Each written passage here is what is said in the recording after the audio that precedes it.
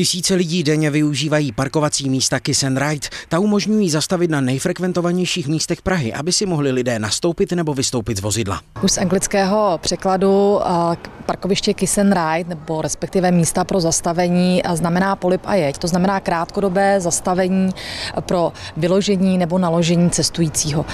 My máme tyto místa u metra, u některých terminálů, autobusových i vlakových. Velký boom zažívají také školy a školky. Sama zařízení technickou zprávu žádají o to, aby před budovou místa zřídila. V takových případech se ale často stává, že si rodiče místo spletou s běžným parkovacím místem.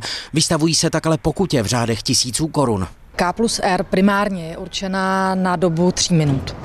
Proto tam, kde není určený čas, tak většinou je to právě na to opravdu krátkodobé zastavení. Opravdu tu minutu, tak, aby si mohl člověk bezpečně vystoupit nebo rodiče mohli bezpečně vyložit své dítě rozloučit se a zaslat ho do školy.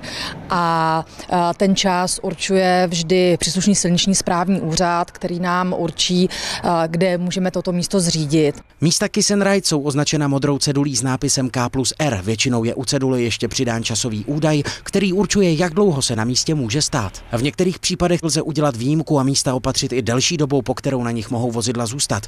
V současné době je na území Prahy evidováno 630 parkovišť K plus R s celkovým počtem 115 míst. Jan Varga, televize Praha.